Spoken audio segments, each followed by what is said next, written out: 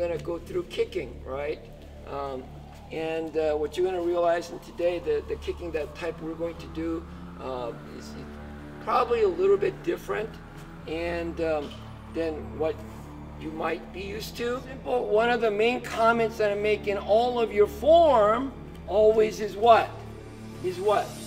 To fully extend and lock out your kicks. Whether it's a punch or it's a kick that you need to lock out. So form is a little bit different in that way. So there's two type of kicks. Snapping, snapping, and thrusting. Okay, what you guys are doing, the kicks, is without intent. You're just going, okay, do a kick. Right? So do a kick. Do a front kick. Do a top kick. Do a side kick. It has no intention. There is no power. There is no focus. Actually, as you learned yesterday, the vibrating, this snapping punch, this is harder to do than it is to do this. To do, you know, the, this is much easier than actually do an effective, uh, you know, snap, snapping, vibrating strike. Kick is the same. You're gonna go like this, and I'm gonna go like this. And you're gonna say, that's the same. The snapping kicks is, he needs a pullback.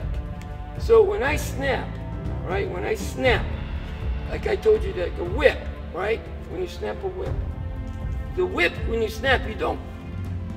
No, it's this pullback that makes the end of that whip accelerate faster than the speed of sound, and that's when you get the cracking of that whip. So as I kick, I have to pull. So kick. So that, see, that is your snapping kick. In order for it to come back fast, what do you have to do? You have to throw it out fast.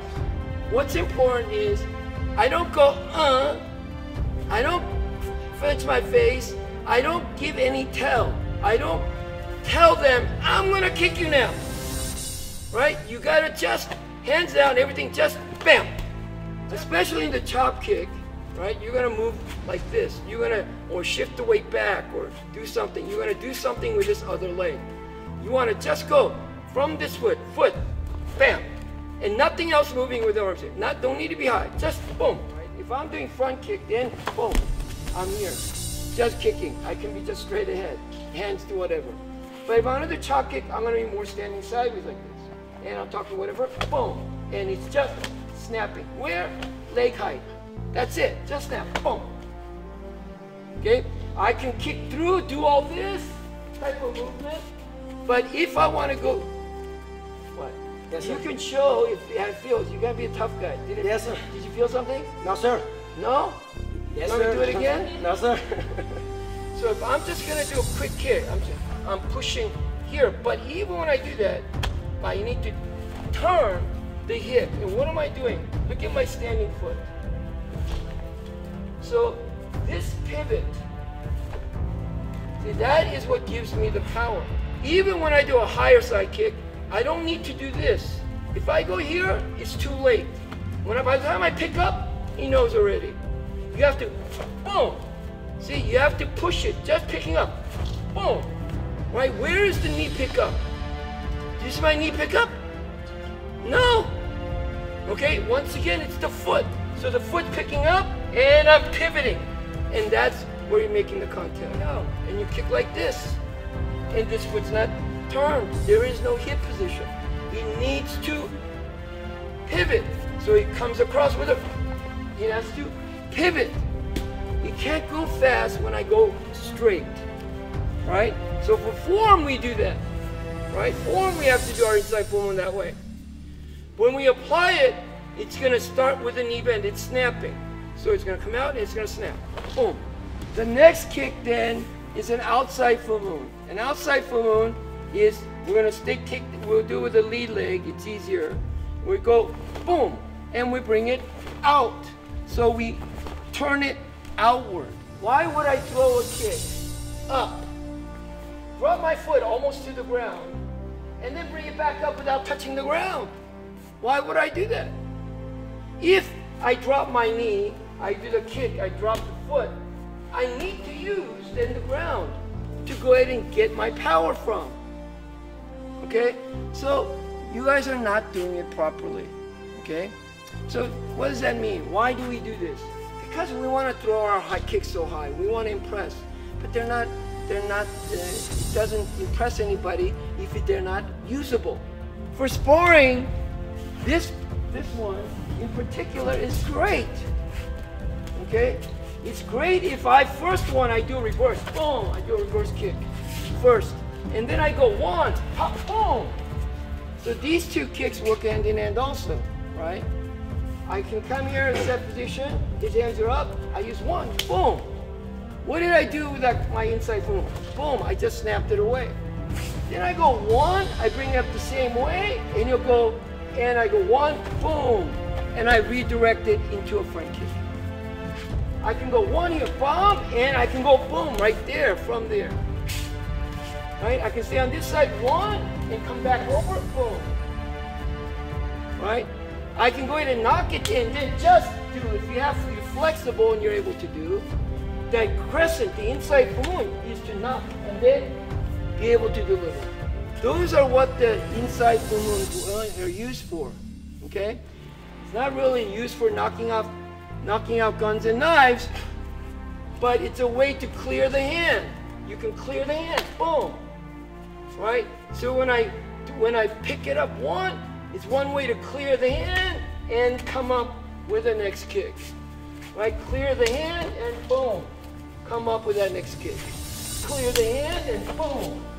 So we're gonna go one, sit back, one, boom, snap, and then come around one, and direct it to a front kick. Do the same thing. One, clear, then put the foot down, one, and boom, and extend the chop. Right? I can do that. If you're standing here, I can clear one, and go boom, and go flow.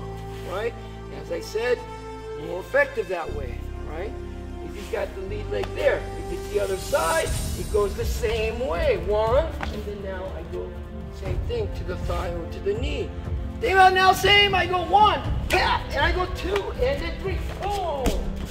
Let's say now for me, I'm gonna go one, pop, and I'm gonna do low kick, pop, and then you're boom. You don't need to do all the fancy stuff, right? I could just decide from here to go one, and then go two. The problem I have is that you kick low, you have very bad form, and it doesn't do any damage. It's just tickling the guy, and now you're in trouble. I hooked it in with the heel.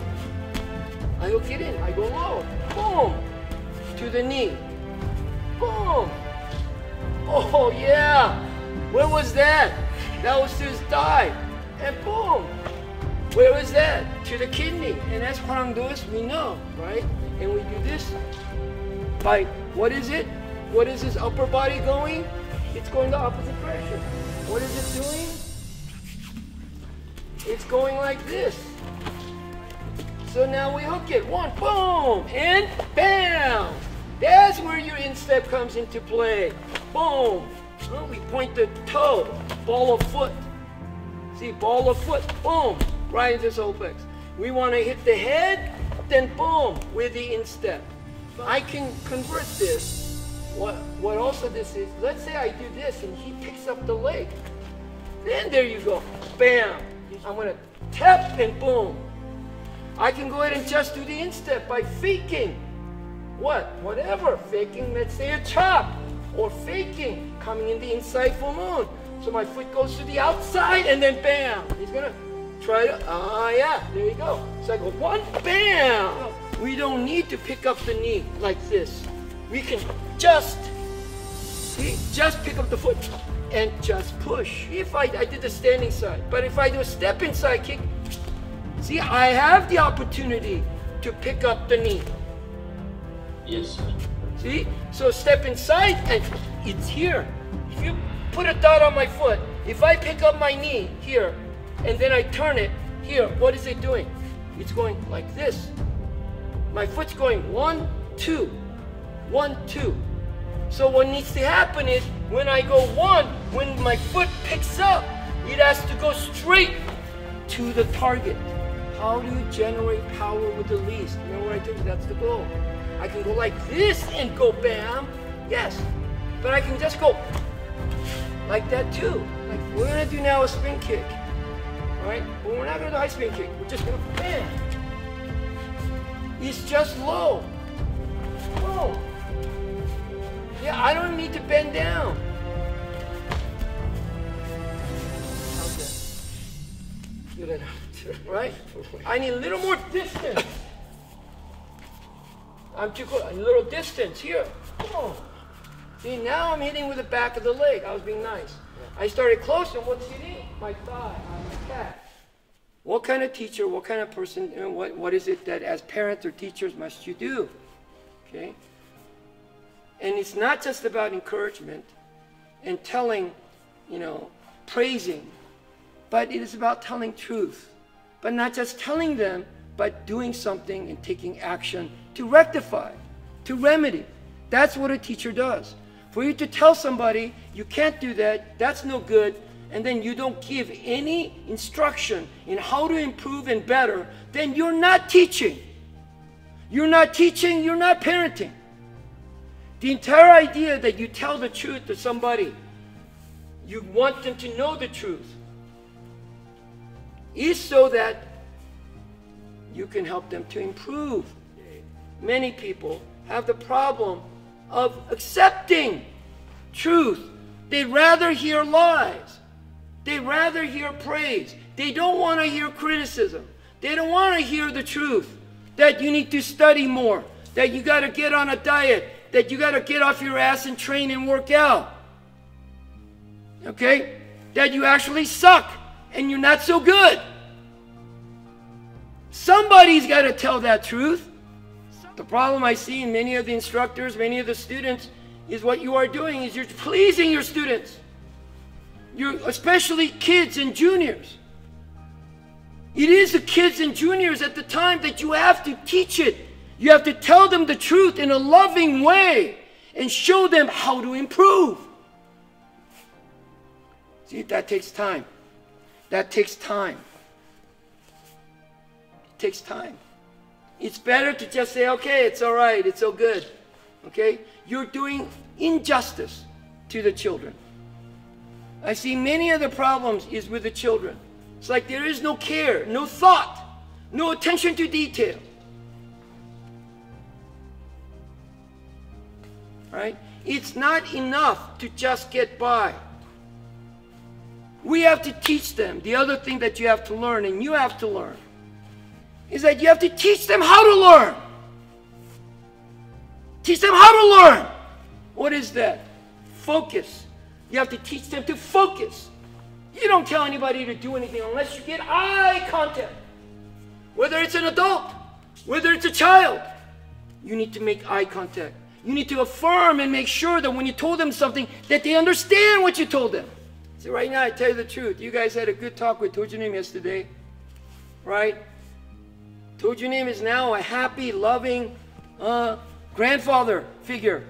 He's like Santa Claus. He's a Hwarangdo Santa Claus. He's a very loving person. You want to be around him all the time. All right? Let me tell you the reality. The reality is that this gentleman that yesterday that you're looking at, such a loving person with all the love flowing out of him, you just want to be next to him all the time, that Santa Claus, he's the person one-handedly after post-World War, post-Korean War, in an impoverished nation, one of the poorest, third poorest country in the world, with thugs running the streets, that Tojunim single-handedly with his fist cleaned up the entire neighborhood, built up Hwarangdo, and created over 68 schools in Korea alone. Almost 30 of them in Seoul. In his 20s. Hwarangdo, what we have is a product of who and what we are. What our legacy, what Tojunim did, how he was, and what he did, and the strength and conviction he had is what we are enjoying today. These are days of comfort for us that we don't have to engage in that type of that type of uh, struggle. It's a different struggle. Our struggle is a struggle of apathy, carelessness, indignity, self centeredness, narcissism.